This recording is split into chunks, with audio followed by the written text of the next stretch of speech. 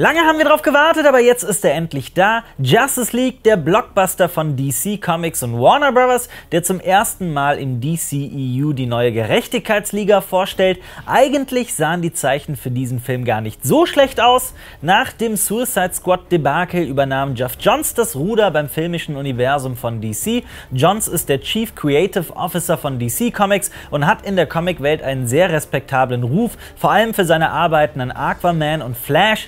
Tatsächlich konnte Wonder Woman ja sowohl die Kritiker als auch die Zuschauer überzeugen und so konnte man sich durchaus Hoffnungen darauf machen, dass Justice League vielleicht mehr werden könnte als ein einziges CGI-Massaker oder etwa ein Avengers-Abklatsch.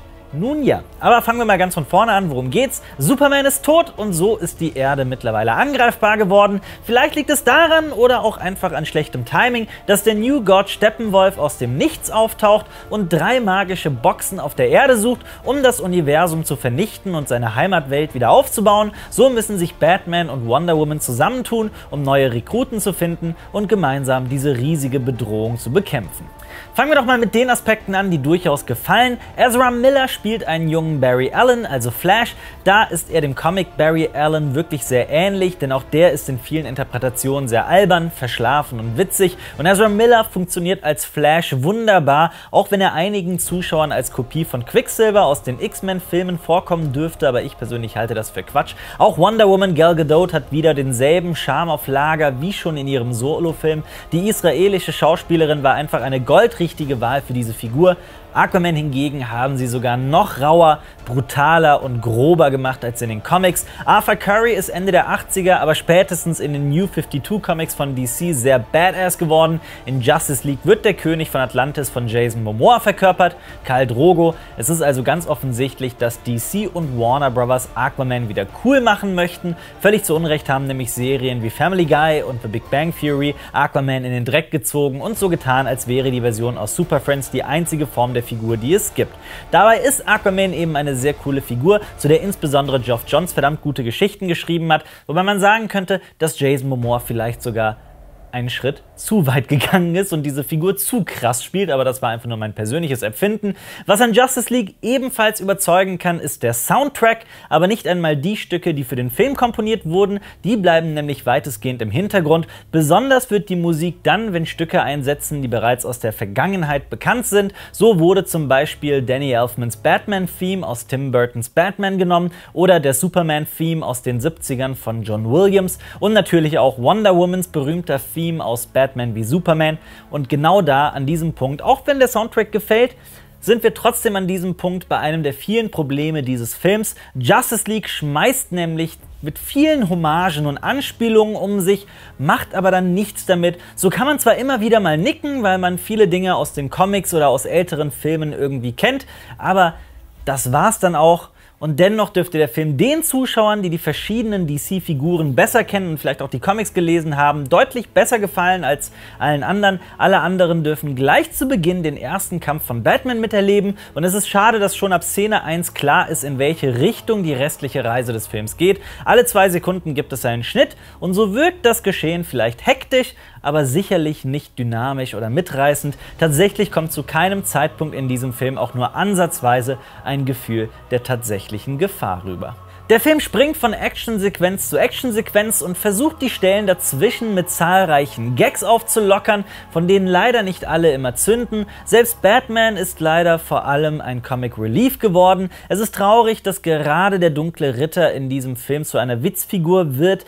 Bisher habe ich den Ben Affleck Batman geliebt, aber Justice League hat da echt einen fetten Kratzer hinterlassen. Neben Figuren wie Flash, Wonder Woman und Cyborg sieht Batman einfach ein kleines bisschen lachhaft in die diesem Film aus. Das war in den JLA Comics oder in den Animated Movies von DC bisher nie ein großes Problem und dieses Mal in diesem Film leider schon. Es gibt schlichtweg auch zu viele Figuren für zu wenig Zeit. So gibt es zum Beispiel eine etwa 45-minütige oder einstündige Passage des Films, in der man eine so wichtige Figur wie Lois Lane nicht sieht. Selbst eine so interessante Hintergrundgeschichte wie die von Cyborg und seinem Vater Silas wird innerhalb kürzester Zeit einfach weggewischt.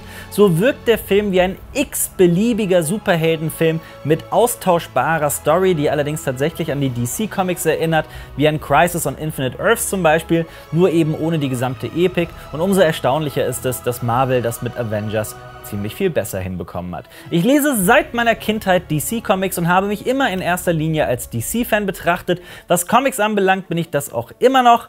Dennoch muss ich immer noch darauf warten, dass Warner und DC den ersten wirklich, wirklich guten Film im DCEU herausbringen. Die DC Comics hatten immer auch den Vorteil, gerade was Batman angeht, dass die Bösewichte hochinteressant waren. Da gab es die verschiedensten Geisteskrankheiten, die zu surrealen Figuren geführt haben, die dann abgefahrene Pläne und Komplotte geschmiedet haben und mit Venom wurde selbst Drogensucht irgendwie in diese Figuren hineingearbeitet. Marvel hat dann aber auf der anderen Seite sich immer bemüht, immer größere und mächtigere und mystische mystischere Bösewichte auferstehen zu lassen. Natürlich gibt es auf beiden Seiten viele Ausnahmen, aber das war für mich zumindest immer so der große Unterschied zwischen DC und Marvel. Nun kommt bei Justice League Steppenwolf ins Spiel, der General vom Planeten Apocalypse, die rechte Hand des großen Darkseid. Doch mit Steppenwolf haben sie für diesen Film meiner Meinung nach den denkbar größten Fehler gemacht. Das DCEU will nicht als Abklatsch vom Marvel Cinematic Universe gelten und dann machen sie Steppenwolf zu einem völlig austauschbaren, x-beliebigen Bösewicht. Steppenwolf ist in diesem Film eine völlig charakterlose, austauschbare, extrem hässlich und uncharmant aussehende CGI-Figur.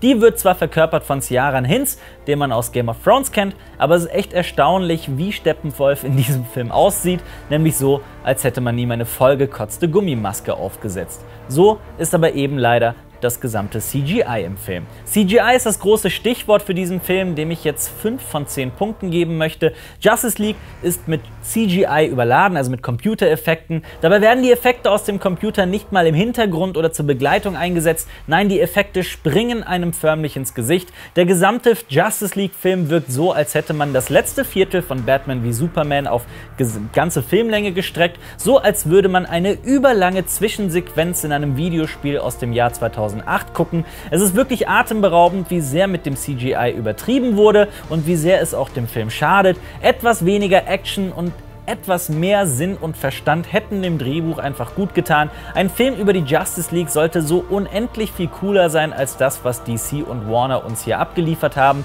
Ich habe allergrößtes Mitleid mit Regisseur Zack Snyder, der eine Tragödie in der engsten Familie zu betrauern hatte und das Zepter an Avengers-Regisseur Joss Whedon übergab. Dem Film hat das aber offensichtlich nicht ganz so gut getan. Der Film macht durchaus Spaß, also versteht mich nicht falsch. Er ist sehr rasant, Flash ist unheimlich witzig und einige der Gags, die funktionieren, nur fehlt mir persönlich eine auch nur ansatzweise interessante oder außergewöhnliche Handlung. Und auch den Ernst haben sie im DCEU nun komplett auf der Strecke gelassen. So nimmt sich Justice League zu keiner Sekunde ernst, den Figuren wird keinerlei Zeit zum Atmen gegeben. Und der Bösewicht ist mächtig, blass und austauschbar. Und das Ganze wirkt dann letzten Endes tatsächlich wie ein misslungener Avengers-Abklatsch oder ein X-Men Apocalypse Reloaded. Selbst die Dialoge sitzen oft nicht und wirken so, als seien sie nur für die Zuschauer geschrieben worden. Batman muss zum Beispiel Arthur Curry nicht erklären, dass Arthur Curry Aquaman und der König von Atlantis ist. Das sagt Batman in diesem Film, damit es der Zuschauer versteht. Nur hätte man das eben auch sinnvoller gestalten oder inszenieren können. Das ist eine Info, die im Panel eines Comics in einem Erklärkasten weitergegeben worden wäre, irgendwo in der Ecke. Filme haben dieses Kästchen nicht. Daher muss man so eine Information eigentlich auf eine andere Weise wiedergeben. Und Justice League hat es eben nicht geschafft, sowas in irgendeiner Weise interessant umzusetzen. Selbst Batman haben sie meiner Meinung nach dieses Mal etwas verhunzt. Auch Cyborg hatte Potenzial für so viel mehr. Leider wird Cyborgs eigener Konflikt innerhalb aller kürzester Zeit abgehakt und es ist lachhaft, wie schnell sich Victor Stone mit seinen Fähigkeiten anfreundet. Wie gesagt, man kann diesen Film mehr genießen, wenn man sich mit den Hintergründen der Figuren auskennt. Dafür haben wir in den letzten fünf Wochen unser Format Donnerstag der Gerechtigkeit laufen lassen. Da haben wir erklärt, woher Batman kommt, was er gemacht hat, woher die Comics kommen und so weiter. Auch dasselbe zu Wonder Woman, Flash und Cyborg. Schaut euch doch zum Beispiel unser sehr ausführliches Video zu Cyborg an. Darin erfahrt ihr, wie Victor Stone zu diesem Maschinenmenschen wurde, der er heute ist. Abonniert uns unbedingt und nochmal, abonniert uns unbedingt auf unseren Social Media Accounts unter die Filmfabrik und ansonsten hoffe ich, dass wir uns bald wiedersehen hier auf die Filmfabrik mit mir, dem Alper.